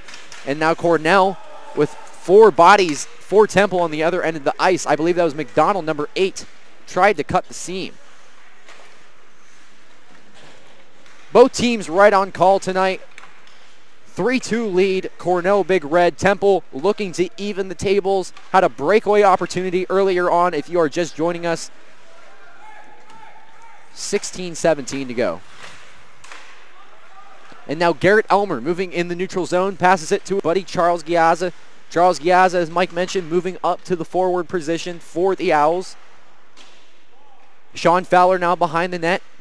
Looking to handle. Sends it up to the front. Charles Giazza on the rebound shot. Scores! Charles Giazza. Move out of the way. He's coming in for seconds. And now the Temple Owls. 3 to 3. 15.59 to go. Well, that move to forward paid off because if he was at defense, he wouldn't be hanging around the slot waiting for some loose change. But since he was playing center, he's hanging around where the center should be, right in the middle of the slot, seeing if a puck will pop out. And he finds the loose chains and slots it behind Tegan Keel. Charles Giazza, second goal of the game for number five, the captain. And just like that, Three to three at the York. Cornell looking for another opportunity on the follow-up chance.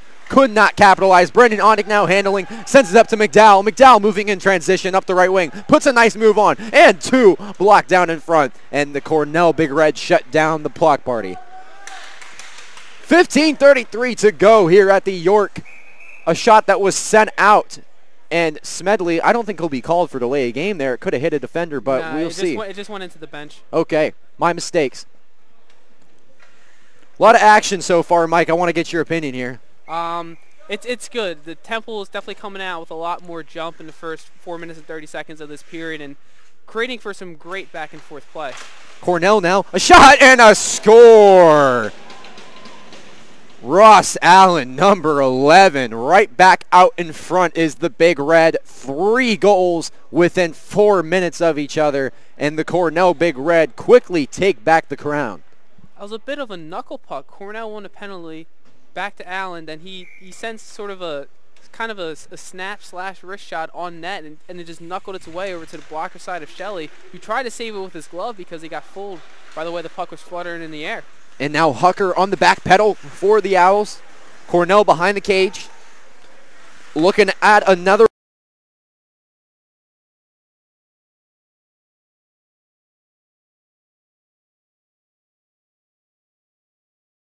with that net again, Mike. it, it's funny. It only seems like where he's at. Well, last period, Tegan Keel really didn't have trouble with this net, but now that Shelley's down at the end, this end, he's having some trouble with it.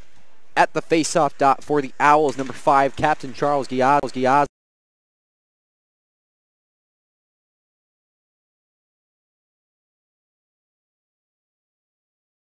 Pierce now looking for Elmer. Elmer Elmer will clear down. Behind the cage is Sean Fowler. Trying to handle it. Can't do that. Number five, Charles Giazza. Two goals on the day. Back out there for the Owls. Thought about passing it to Pierce. Cocked it back. And now Giazza in a bit of a situation along the boards. Pierce does a good job of keeping it in play. 14.30 to go here in the third period. Cornell strikes back in the lead, 4 to 3.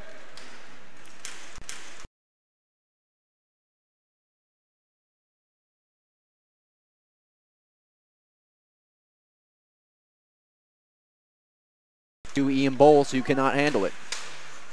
Charles Giazza passes it to Sean Fowler. Sean Fowler now moving in neutral zone. Sends a shot to the front of the net and into the glove of Tegan Keel. These boards are causing some problems for both teams, I feel like. I, I remember in the second period, uh, down by that Zamboni entrance, it seems like part of the boards is sticking out a little bit gave a weird bounce. Then Hucker tried to play it along the boards to Bowles, but except for bouncing off, the puck just stuck along the boards. It's kind of weird. Cornell now moving up the wing. He wiped out for a second and picked up his own wipeout to keep the play alive. Hmm. Garrett Russell now moving up the left wing, tried to get a little fancy with it. Sent to the front there was Will Green. Will Green now can't handle it, and now Smedley forced to backpedal. Puck was not kept in, and the Owls have to be careful they won't be called off sides here. Meanwhile, Cornell takes it right back, right back.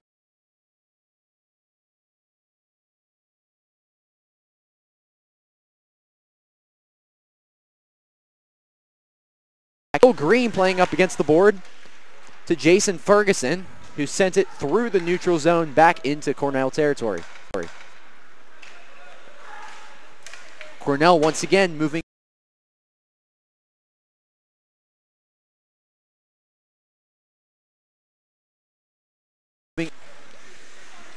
Now playing it up against the boards, Ferguson clears out. And moving back now is Kaiser. Kaiser a shot to the front of the net and a glove save from Tegan Keel. It almost looked like it could have gotten in there. Must have went right into his glove. From my angle, it was tough to see. Yeah, especially with those poles in a way, it makes it a little bit tough. But getting pucks on net, it's a good answer after the Cornell goal. Maybe not the best from Temple, but at least they're trying to apply some pressure. The Owls down one in this game. They only need one to tie. Four to three, 12:42 to remain. Teams sharing goals back and forth. Cornell now moving in transition. Trying to center it now is McDonald. McDonald was stopped in his tracks by Ian Bowles and now handled by Ondick. Ondick to Hucker. Hucker thought about it, thinks twice, and now Andrew Kaiser will pick it up from here. Brendan Ondick into the neutral zone. Played off the boards to McDowell. Scored the first goal of this game. Andrew Kaiser now will pick up the wipeout from McDowell. And Cornell will pick it back up into the neutral zone. Smedley, number 15, back out on the on the Ondick to Kaiser. Kaiser, not enough juice on the pass to McDowell. Cornell quickly, quickly.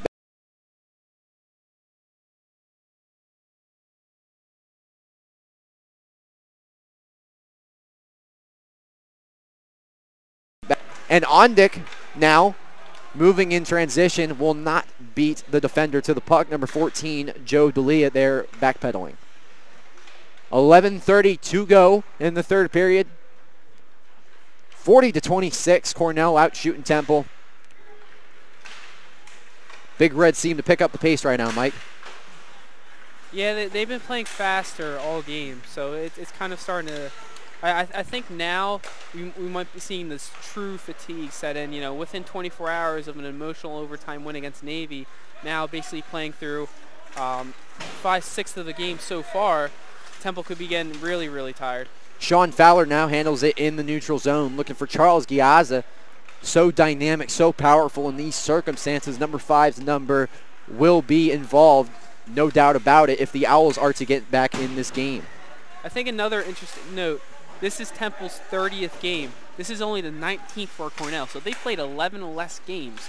So there could be a true fatigue factor setting in, especially later in the season. Visitors from Ithaca, New York, out of conference game will not count towards the conference record. The Owls currently sitting at 4 and 10 in ECHA play. And in the playoff spot. And in the playoff spot, indeed. Max Hucker tried to handle it, couldn't make much of it. Now Cornell moving back in transition. Could have been a two-on-one, but a nice defensive play by Ian Bowles. And now handling it again is Max Hucker to Sean Fowler. Sean Fowler tried to go coast to coast. They were not fooled. Ian Bowles and Captain Charles was going to handle it before plane was blown dead. 9.59 to go, 4 to 3 41 shots faced from the Tendy. Matt Shelley. What have you seen on Shelley in this period, Mike? Well, I'm gonna I'm gonna drop the nickname on you. I'm going Spider-Man Matt Shelley because of the red helmet. It kind of reminds me of Spider-Man. Okay. He's been playing well uh, this third period. He's definitely kept him in there. He's had to face some weird shots.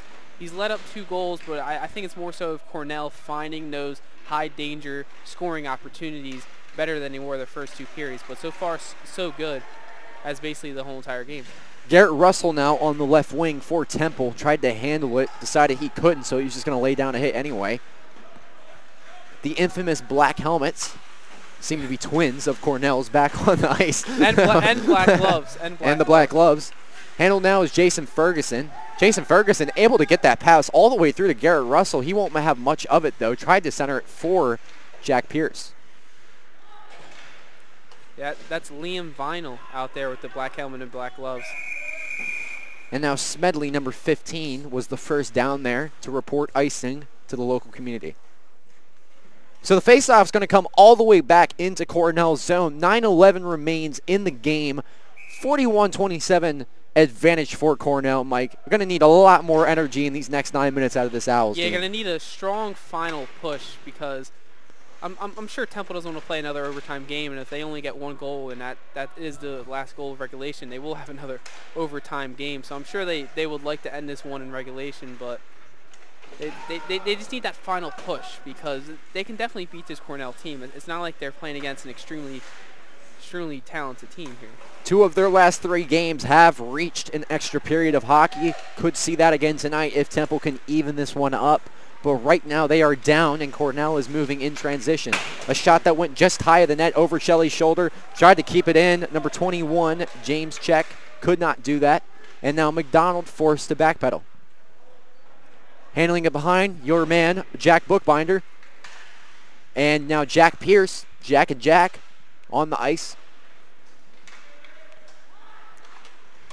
Temple doing a good job of keeping it in Cornell's zone, but have to start firing the puck and sending pucks to the front of the net if they want to score here, Mike. Yeah, they're getting in the offensive zone, just not getting those high danger scoring opportunities. Brendan Ondick put on a move towards the front of the net. Two Cornell defenders were waiting for him. And now getting back on the ice, number five, Charles Giazza coming off Jason Ferguson. Ian Bowles will join him on his vacation. And now Charles to Ian. Ian put on a move to the front of the net, falls to the ice. Ooh. Might be a delayed penalty call. Nope. Most likely not. Ref's arms are down. That that that should. I mean, we kind of don't have the best angle over here, especially with all the poles in the way, and uh, both the players' backs facing us. But that looked like that could have been something. It, it didn't look like it was anything clean. Charles say that. Charles Giazza has been out there for a majority of this period. That uh, sequence right there when he was on the bench was probably the most I had not seen him on the ice once this period. Yeah, it felt like it's been a few minutes, but he's back on, and I think I think now is the time Temple needs a goal because you don't want to start sort of pushing from behind the last few minutes. You kind of want to play tied with seven minutes to go. Now Charles looking to keep it in. A puck that was sent high over the glove of Garrett Elmer. Almost had the follow-up opportunity, but Tegan Keel there to cover up. Yeah, when you start, when you're playing from behind with only a few minutes to go, that's where you give up, you know, one, you might even have an empty net, and two, that's where you give up other scoring opportunities. I think now is sort of the time to get this game even so you can have a tie game, basically a 0-0 game with roughly seven minutes to go. Temple has won four of their last five games. Two of the past three in this building have gone to an extra frame, something to keep an eye out on as we enter here with 6.58 to go in the third. Puck is down in the Cornell zone. Now into the neutral zone, and Cornell on the chase. It's a two-on-one opportunity. Tried to center the pass to number 11, Ross Allen. Allen was not there to handle it. Hucker back out there for the Owls.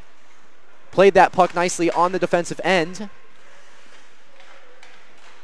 Yeah, Ian Bowles broke up that two-on-one rush for Cornell. He's having a good third period. He's breaking up some passes. He's he's playing good positioning on defense this period for the Owls. Kyle Smedley, number 15, in a battle of the boards now. Two Cornell men were there, and a centering pass almost found its way. A shot to the front off the stick of Ross Allen.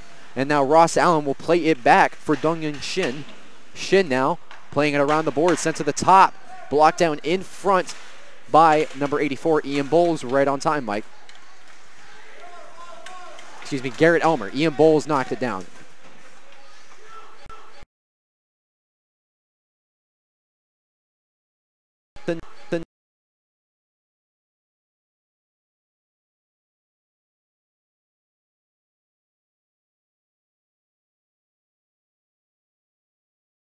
Yazzie, he had a line change on his mind instead.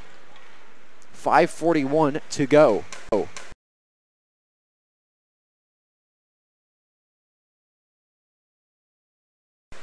Fifteen, teen.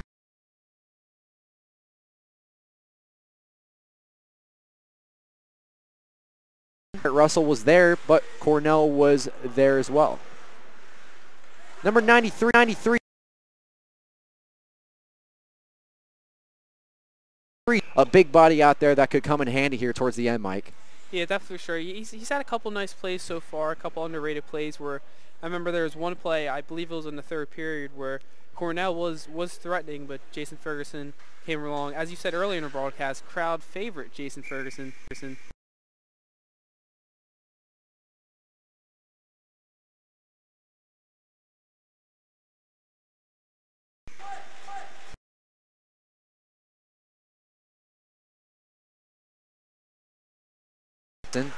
Stick was knocked out of the hand of Cornell defender and off a bounce.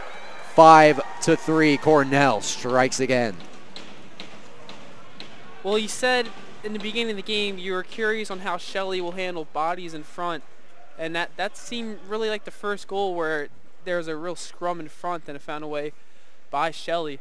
I'm, I'm, I'm curious to see, I'm, I'm curious on how that got back there. It looked like a deflection from Cornell and just popped over the, the right shoulder of Matt Shelley.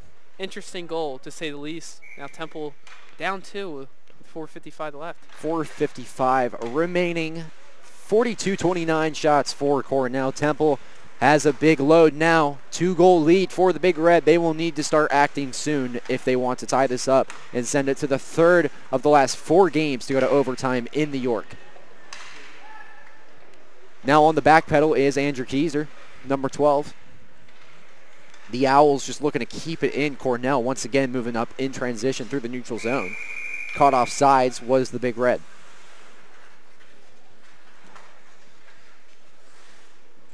It's not the worst thing in the world that they're down 5-3 with 426 left because as, as we mentioned throughout the broadcast, this is an elite game, so this doesn't have much to do with the, with the current playoff standing for the Owls, but you would love to get a win, as every single game you play, you would love to get a win, but it's definitely not, not the end of the world, and it is a solid performance, putting it in the context of being coming off of an overtime game against Navy less than 24 hours ago. Last night, the Owls, as Mike mentioned, did win in this building. It was Brendan Ondick versus the Towson Tigers. Charles Giazza last night, both out there now. Giazza is at least for the Owls. On a second or third chance opportunity, he can get a little off position. So, I, I, I if I'm if I'm Coach Mark Spees, just get the puck to the net. That's that's all we can do at this point because that's the only way you're going to get two goals is if you get the puck towards the net. The Owls trying to keep this home win streak alive 124 remaining on the clock. Cornell trying to end that. A team, as we mentioned earlier, playing four and six on the road. Temple has won four of their last five. I think overall, it's it's not the worst game for Temple because you could have you could have played a lot worse, especially having an emotional game like you did last night. You could have came out and completely put a stinker. But this definitely by far wasn't their best game, especially the way they have been playing of late and if this game ends right now at 5-3, almost not too upset because this definitely wasn't one of their best games of late. The last time the Temple Owls lost was a 15-2 road loss up in Newark, New Jersey against the Rutgers Scarlet Knights. Since then, the Owls have won three straight. And now Temple has an opportunity here with 124 to go. They have their gunners out there. Charles Giazza, number five. Smedley, who's had a solid game, could not handle the puck.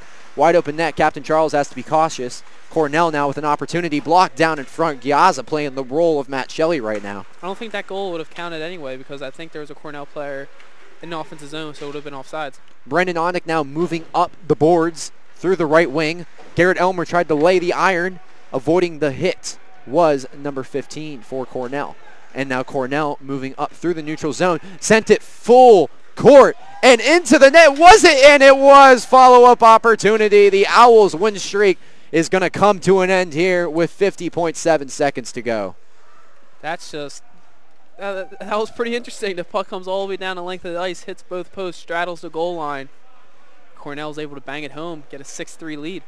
And now the Cornell Big Red will walk out of here victorious. On the goal was Dylan Jones, number 15 for the Cornell Big Red. Mike, it looks like there was a lot of ice buildup in front of the line that forced it across the line. Yeah, and as, snow buildup. As you mentioned, a good follow-up opportunity. Now three goals the Owls will need in 45 seconds. Not impossible, but the task is pretty uh, marginal. Behind the net, number 19 is Max Hucker. Had himself a rough game, getting pushed around. Cornell looking to extend their lead. The Owls are 7 and 8 in this building. As I've mentioned, three straight wins in this building. That win streak is going to come to an end here. 7 and 9 on the year. The Owls will fall in home play, and their record will be 9 20 and 1. 14 seconds to go. Austin Maurer out there trying to push it back in the neutral zone. Hucker slowing down and the Cornell Big Red take the bus from the Great White North from Ithaca, New York to Philadelphia, Pennsylvania and down to Cheltenham Township and walk out victorious. Final score from the Old York Ice Rink. The Cornell Big Red 6, the Temple Owls 3. That'll do it from the York here. Stay tuned, folks. I will be joined by Michael Zingroni for your post-game show. Don't you go anywhere. Welcome back, ladies and gentlemen, to the rink at Old York Road. I am Taylor Snyder, joined by Michael Zingroni, the Cornell Big Red, walking out of here victorious today, Mike, by a final score of 6 to 3. The Owls obviously coming off that big 4-3 winner last night versus the Naval Academy appeared to be a little bit fatigued today. Uh, what did you see out of the team overall in a, a, tough game for the Owls, obviously ending their home win streak? It, it looked like they're coming off an emotional win, and, and that's what sometimes emotional wins can do to you. A, a big league game against Navy, and you beat them in overtime, especially a game for – a lot of those 65 minutes, they were kind of chase and play. The Navy was coming at them, so they had to do a lot more skating around to chase the puck, and it kind of had to do the same today, and they just didn't have the legs to do it for a full 60 minutes. Ryan Treves, number 16, was not on the ice tonight for the Owls. Charles Giazza starting at defense, moving him up to the forward position in the third period. Uh, a smart decision, I thought, by head coach Mark Spees mm-hmm. to try to create some offense, but uh, it just seemed like they didn't really have enough gas in the tank whenever they put the puck in Cornell's zone today. Yeah, just just not not too much there. It was less than 24 hours too. If this was maybe a day, uh, two days after the Navy win, could be a different story where they just might not played their best game. But I just feel like they didn't have a lot of energy, a lot of carbs to draw off from to, to keep the energy up for a full 60 minutes, especially against a Cornell team who played 11 less games the entire season, and they're coming in and flying around from the first first drop. Matt Shelley entered today with two wins on the season. He will walk out with another loss. Number 30, though, played a really solid game in Strong. between the pipes. Up until that third period, I thought when a lot of traffic started to develop in mm-hmm. front of his net, he looked very strong. Um, what does that do for him to be able to play a game like this moving forward when, you know, Auerbach can't do it all? We know mm-hmm. that he can't play every single game. Mm-hmm. So uh, what do you think this can do for his confidence despite the loss? I think not only his confidence, I think the team's confidence, it could really go leaps and bounds. The 6-3 score is not indicative of how this game was. It just kind of piled on towards the end of the third period when Temple was really starting to show that fatigue. But I think it gives the team and the defense confidence now. Not only do you have Ben Auerbach playing at a high level, Matt Shelley can play like that. It doesn't matter if they have Auerbach or Shelley. They can beat a lot of teams in the club hockey circuit. Temple currently sits at 15 points in the ECHA, have clinched a playoff spot, so they will be at the big dance. They sit one point above Villanova, who's coming up on the schedule. Yep. What do you think about that game moving forward? They're going to get Rutgers again here in this barn. They got to go on the road to Radnor to play Nova. What's the road looking like for the Owls, and what do you look to see out of them with two games left? This is going to be a big game for uh, positioning because a win gets you three points. Nova is only one point behind you, so the winner of this game is going to be ranked at least one spot higher than the other. So this is going to have a lot for positioning and they could see each other in the playoffs, so we could see a playoff-like atmosphere next game when Temple plays Villanova. Drexel, of course, at the top of the standings. The Owls, as I mentioned in the broadcast, lost a tough 15-2 game versus the Rutgers Scarlet Knights on the road in Newark.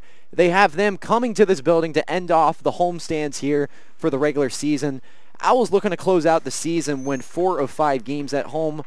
Mike, I just want to get your perspective heading into the playoffs where they're at right now and where they were about two months ago, significant improvement from the team. Oh, definitely a significant improvement. I think number one is their defensive zone play. While it really wasn't on display tonight, they've done a good job of getting pucks out, not giving up second, third chance, really danger danger opportunities from rebounds from whomever's playing in net. So the defense, I think, is really settled up. And once you play great defense, it's easy to shift into offense, get the puck into the offensive zone, and get some shots on net. So I think they're doing a good job of playing better in front of whoever's in net and doing a good job of getting pucks in deep and pucks on net because their three goals tonight all all came from opportunities when they're in deep and working on the forecheck. I want to get your perspective real quick. You mentioned Ian Bolson. I had a really big game. Mm-hmm.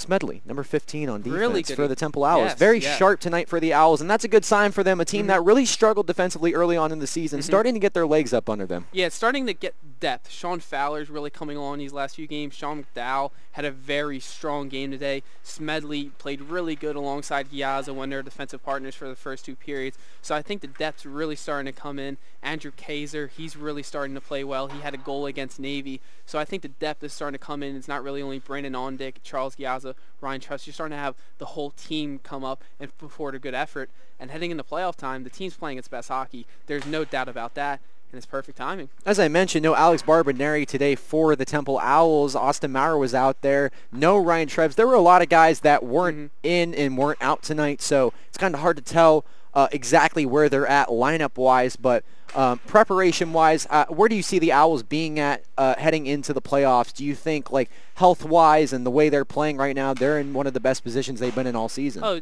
definitely, because Auerbach's back. He's playing his best hockey. The team's playing his best hockey in front of them. Starting to get those depth pieces coming in, as I mentioned earlier. So this is really the apex of the 2018-2019 Temple Owls ice hockey season. So playoffs right around the corner. They are in a good spot. Of course, there's always some things you want to tie up a little bit more. This game, there's definitely some learning points you can take away from it. Yes, you had some healthy scratches, but yes, you don't want to use that as an excuse. So there are some things you can learn from this game, and I think Coach Mark Spees will try to relay the relay that message to his team with two games before the playoffs. Temple has shown a lot of fight in the past six games they've played. As I mentioned, a team about two months ago that really just struggled to get the puck in the back of the net, frankly. But, you know, hockey is such a beautiful game because it's really all about which team's going to get hot at the right moment. And despite losing today, I still think the Temple Owls have a lot to look up to moving forward in a game against Villanova, a team that beat them by 10 goals the last time they were in this building. Yeah, I believe I believe uh, before yesterday's game against Navy, the last time they played Navy, they lost, I think it was like 10 to 1, 11 to 1, something around that nature. Then, But Temple's playing their best hockey right now. Ben Auerbach, everybody you know, everybody's really going full steam ahead, and they have a great game with Navy, you know, top them in overtime 3-2. So it really doesn't matter what happened earlier in the season. It's what how both teams are playing right now, and Temple's playing you can say just as good as anyone in their league. That Rutgers game will be huge, of course, coming off the huge loss. But my focus is more so on the Villanova game. They're, oh, up, yeah, they're up a point right now. Villanova. They're up a point right now, 15 to 14. You know Villanova had a lot to smile about the last time they played us, and frankly, I don't think Villanova saw the best side of Temple ice hockey, and I sure. think they got a lot to prove heading into that game on the road. Oh, definitely a lot. I mean, it's a, it's a, a City Six rivalry or a Big Five rivalry if you if you want to get in some basketball sense, but I mean you know, they, I bet there's some players on, on Temple that want to say Villanova's not a Philly school, so they want to show them why they're not a Philly school and play some good hockey out there. Next, uh, was it February the 8th? They're playing Villanova. I yep. believe so, February yeah, February the 8th. the 8th. So two more games remain on the schedule for the Temple Owls. Mike, I want to get your closing thought overall, everything from today. Any any final words on today's game? I, I'm, I'm, I'm really happy where Temple's standing with the goalie play because Ben Auerbach, he's been playing great the last few games, and Matt Shelley came out. He really impressed. I think the 6-3 score really isn't indicative on how he played today. He played really good because that easily could have been some of the games we've seen earlier in the year where it could have been 11-1, 13-2, one of those games. But Matt Shelley, he really played well. His calming presence, I mean, gives the Temple team options. You have Ben Auerbach and Matt Shelley. If they both playing at a high level going into the playoffs, it really puts the team in a good spot knowing that the goalie situation is fine. It doesn't matter if they play well. So they're really in a good spot as playoffs are right around the corner. Definitely impressed with the defensive play today. I mean, six goals allowed. One of those goals wasn't even Shelley's fault, uh, wide open net, obviously. Mm-hmm. But it, it, seemed like, despite that burst at the end, Temple really kept them on a leash tonight. They would score a goal and they don't let the game get out of hand. They would not let the game get out of hand. And earlier in the season, that was a problem for this team. Mm-hmm. And I think that is a fantastic sign heading into the playoffs. Oh yeah, this team definitely learned as the season went on, really building from the experiences earlier in the season, and now they're putting their best product on the ice. So big matchup against Villanova in a few days and uh, playoffs right around the corner. Exciting wasn't, times. Wasn't the best product on the ice tonight for the Temple Owls. They will have a chance to recreate that product when they play the Rutgers Scarlet Knights here next week at the York. Two more games remain on the regular season schedule. The Owls falling to the Big Red tonight by a final score of 6 to 3. This has been Taylor Snyder, joined by my partner Michael Zingroni, signing off from the York. Have a great night.